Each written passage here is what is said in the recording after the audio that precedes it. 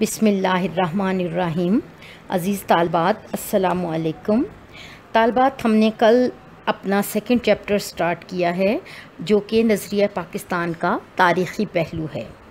और इसमें हमने जो पहला टॉपिक पढ़ा था, वो ये था कि बर सग़ीर पाक हिंद में इस्लाम किस तरह से फैला। और इसमें हमने देखा कि अरब ताजरों ने और मुसलमान हुक्मरानों ने, मुसलमान मुजाहिदीन ने और मुसलमान अलिया कराम मुबलगिन ने बर सग़ीर पाक हिंद में इस्लाम को फैलाने में अहम किरदार अदा किया।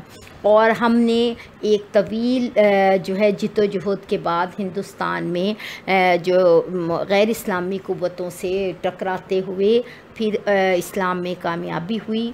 और ये गैर इस्लामी क़वतें जो हैं, इन्होंने सोलहवीं सदी से लेकर अट्ठारहवीं सदी जो है, इनमें बहुत ज़्यादा इन्होंने ज़ोर पकड़ा और ये सदी ये तीनों सदियाँ अहिया इस्लाम की सदियाँ कहलाती हैं। और इस तरह से इन सदियों में इस तरह से इन सदियों में इस्लाम और गैर इस्लामी क़वतों के टकराव के नतीजे में बर सग़ीर में मजहबी तौर पर दो कौमी नज़रिए का फ़रोग हुआ और यही दो कौमी नज़रिया आगे चलकर नज़रिया पाकिस्तान की बुनियाद बना। मुसलमान अलिया कराम, जिन्होंने सोलहवीं, सत्रहवीं और अठारहवीं सदी ईस्वी में इस्लाम बर सग़ीर में इस्लाम की अशात में नुमायाँ जो है वो कारकर्दगी दिखाई, उनमें हज़रत मुजद्दद अलफ़सानी सर फ़हरिस्त हैं। हज़रत मुजद्दद अलफ़सानी का असल नाम अहमद सर था। सर हिंद के चूँकि मकाम पे पैदा हुए थे तो इसलिए अहमद सर हिंदी कहलाए। और आपका जो लकब था, वो मुजद्दद अलफ़सानी था। मुजद्दद तजदीद करने वाला, अलफ़, हज़ार साल और सानी दूसरा। उल्मा में इस बात पर इत्तेफाक के राय पाया जाता है कि हज़रत उमर बिन अब्दुल अज़ीज़ के बाद अगले हज़ार साल के लिए दीन की तजदीद करने वाले हज़रत मुजद्दद अलिफ़सानी थे और आप जो है एक बहुत ही आला ख़ानदान से ताल्लुक़ रखते थे। शेख अहमद सर हिंदी 15 जून पंद्रह को सर हिंद के कस्बे में पैदा हुए। आपके वालिद मोहतरम शेख अब्दुल अहद मुमताज़ आलम दीन और सूफ़ी बुज़ुर्ग थे। आपने अपनी इब्तदाई तालीम अपने वालिद से हासिल की। इब्तदाई तालीम हासिल करने के बाद मज़ीद तालीम की तड़प आपको लाहौर और सियालकोट ले गई। 1590 में आप आगरा तशीफ ले गए और वहाँ हज़रत ख्वाजा बाकी बिल्ला बैरंग के हाथों में सिलसिला नक्शबंदिया में आपने बैत की। आपके रूहानी रूहानियत और रूहानी फ़ज़ाइल का अंदाज़ा लगाते हुए आपके मुर्शद ने आपके बारे में पेशीन गोई की कि अहमद एक ऐसा चराग है जिससे एक दुनिया रोशन होगी। और हमने देखा कि आने वाले वक्त में आपके मुर्शद की पेशीन गोई एन दुरुस्त साबित हुई। आप अपनी तालीम मुकम्मल करने के बाद दावत दीन में मसरूफ़ हो गए। आपका सिलसिला नसब, हज़रत उम्र फ़ारूक रज़ी तह से जा मिलता है। आपने अपनी वफ़ात, यानी 1626 तक अपनी तमाम उम्र अहियाए दीन के लिए सर्फ की और इस तरह से हज़रत मुजद अलिफ़सानी ने उस वक्त हिंदुस्तान में बहुत ही जाबर क़वतों का मुकाबला किया, लेकिन दीन की सरबुलंदी के लिए डटे रहे और मुजद्दद अलफ़सानी के बेहतरीन लकब से मशहूर हुए। अब हम देखते हैं कि हज़रत मुजद्दद अलफ़सानी ने मिली और असलाही खदमात किस हवाले से सर अंजाम दी और आपका इन तमाम गैर इस्लामी क़वतों के लिए अपना और इस्लाम की अहिया के लिए क्या किरदार रहा है।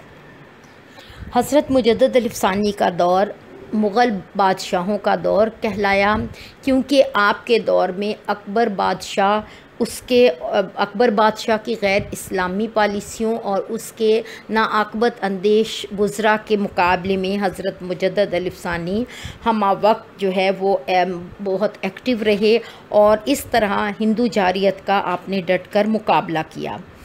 मुग़ल बादशाह अकबर के अहद में हिंदू मत के अहिया की तहरीक ज़ोरों पर थी। हिंदू राजे अकबर के मर्द शमशीर जन ख्याल किए जाते थे और हिंदू महारानियाँ शाही महल्लात के अंदर अकबर के दिलो दिमाग पर सवार थीं। यही वजह है कि हिंदू मत के अहिया की तहरीक को दरबार अकबरी के हिंदू उमरा की हमायत हासिल थी। हज़रत मुजद अली फरमाते हैं कि अकबर के दौर में हिंदू इतने दलेर हो गए थे कि एक ब्राह्मण ने मस्जिद की जगह मंदिर तामीर कर लिया और नबी पाक वसल्लम की शान में गुस्ताखी की और इसी तरह जो है, एक और इलाके में भी वाक़ ऐसा पेश आया कि वहाँ हिंदुओं ने मस्जिद को गिराकर मंदिर तामीर कर लिया। चुनाची हज़रत मुजद अली ने सूरत हाल के मुकाबला के लिए अवाम, उल्मा और उम्रा में एहसास ज़िम्मेदारी बेदार किया।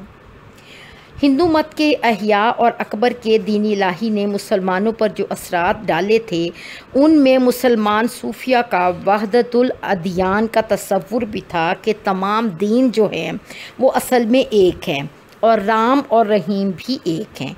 जबकि हज़रत मुजद अलिफ़ानी ने इस नज़रिए पर कारी ज़रब लगाई और उसको बातिल करार दिया और कहा कि रहीम हमेशा से है और हमेशा रहेगा और तमाम अदियान एक नहीं हो सकते। और अल्लाह एक है और अज़ल से है और अबद तक रहेगा। लिहाजा आपने तोहद ख़ालस का तस्वुर पेश किया कि अल्लाह के सिवा कोई लायक इबादत नहीं और बाकी तमाम बातिल नज़रियात को आपने अपनी गुफ्तु से, तकरीरों से, तहरीरों से उनको बातिल करार दिया। जलालुद्दीन अकबर, जो कि मुग़ल बादशाह था, वो बेसिक बुनियादी तौर पर अनपढ़ था। और उसके दो नाकबत अंदेश वज़रा, अबुल फ़ज़ल और फैज़ी थे, जो कि हर वक्त बादशाह की चापलूसियों में लगे रहते थे और बादशाह के दिल दिमाग में गलत किस्म के फितने और ख्याल डाला करते थे। उन्होंने एक शरारत करके बादशाह के जहन में ये बात डाली कि क्यों ना एक दीन इलाही ईजाद किया जाए, जिसमें तमाम मज़ाहब के अच्छी अच्छी बातों को इकट्ठा करके और उसको दीन लाही का नाम दिया जाए। और इस तरह से हिंदुस्तान को दारुसलाम बनाने की बजाय एक सेकुलर स्टेट यानी लादीनी रियासत बनाने की कोशिश की जाए। और उसमें जो सबसे बुरी बात थी, वो ये थी कि बादशाह वक्त के लिए सजदा ताज़ीमी लाजम करार दिया गया। मुसलमान जो कि एक खुदा के सिवा किसी को सजदा नहीं करता और अल्लाह के सिवा किसी को सजदा ज़ेब भी नहीं देता। चुनाचे जब इसमें ये बात रखी गई तो ये तमाम बुज़ुर्गान दीन को बहुत नागवारा गुज़री और ख़ास तौर पर हज़रत मुजद अलिफ़ानी ने इसके ख़िलाफ़ बादशाह के दरबार में खड़े होकर जो है इसका मुजाहरा किया कि जब बादशाह ने उनको बुलाया तो आपने आम अंदाज में सलाम करके और अपने लिए रखी हुई नशस्त पे बैठ गए, बजाय ये कि खुदा न खास्ता बादशाह को सजदा किया जाए। अकबर के वफ़ात के बाद उसका बेटा नूरुद्दीन जहांगीर तख्त नशीन हुआ और दरबारी उमरा ने उन, उस बादशाह को पहले ही हज़रत मुजद अलिफ़ानी के ख़िलाफ़ भड़का दिया था। चुनाचे बादशाह ने आपको आज़माने के लिए दरबार में तलब किया। आप आए और आपने जिस तरह एक शर्य तरीका है सलाम का, उस तरह सलाम किया और आप आके बैठ गए। चुनाचे बादशाह इस बात से बहुत ज़्यादा नाराज़ हुआ और उसने आपको कैद कर लिया। और आपको कैद कर लिया, चुनाचे आप कैद में भी, दौरान कैद भी आपने रुश्त, हदायत और तहरीर तकरीर और तबलीग का काम शुरू कर दिया। और जितने वहाँ कैदी थे, आपने उनको दीन की तालीम दी। नतीजतन तमाम लोग मुशरफ बा इस्लाम हुए, यानी उन्होंने इस्लाम कबूल कर लिया। लेकिन बादशाह को कुछ ही वक्त के बाद अपनी गलती का एहसास हुआ। उसने आपको दोबारा दरबार में तलब किया और आपसे माजरत खा हुआ और आपको, आपसे ये इजाज़त चाहिए कि अगर आप दरबार में रहना चाहते हैं तो ये हमारी खुश खुशकस्मती होगी और अगर आप वापस जा, सरहिंद जाना चाहते हैं तो आपको इसकी भी इजाज़त होगी। चूँकि हज़रत मुजद अलिफ़ानी ने दरबार में गैर इस्लामी क़वतों का और गैर इस्लामी लोगों का असर रसूख देख लिया था तो आपको ये अंदाज़ा हुआ कि मुझे पहले यहाँ रहकर इसलाह दीन का काम करना चाहिए, क्योंकि बाकी तमाम अहकाम यहाँ से निकलते हैं। अगर यहीं से दुरुस्तगी होगी तो आम लोगों तक इसकी बेहतरी आएगी। चुनाचे हज़रत मुजद अलफ़ानी ने तकरीबन दो साल तक बादशाह के दरबार में क़्याम किया और आपने जो है लोगों को सही दीन की तरफ़ बुलाया, सही दीन की तालीम दी और उनको बताया कि जब तक बादशाह उमरा, रऊसा और मशाख मशाइ जो हैं वो जब तक सही दीन की तरफ़ नहीं आएँगे, उस वक्त तक इस्लाम को गैर इस्लामी क़वतों से इसी तरह ख़तरा ही रहेगा। हज़रत मुजद अलीफसानी के दौर में, दीन में फ़साद सू की वजह से पैदा हुआ। सू से मुराद दुनियादार जाहो जलाल के तलबदा, तलबगार उल्मा। चुनाचे जो बादशाह अकबर के वज़रा थे अबुल फ़ज़ल और फैज़ी, ये लोगों को और उलमाए हक़ को जो है वो भटकाते रहते थे और उनको गलत गलत जो है सुझाव देते रहते थे।